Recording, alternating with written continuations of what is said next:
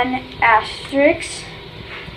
The writer is Goscinny and the illustrator is Uderzo. Um, it's about, well, the one that I'm mostly book reporting on is Asterix and the Gladiators. It's about Asterix and Obelix trying to save the Bard from the Romans, which captured them. Uh, the book takes place in 50 BC, which is quite a long time ago.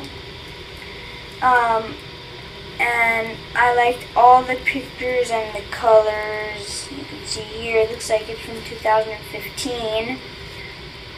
Um, the book really made me feel happy, funny, and cool, and it's really funny.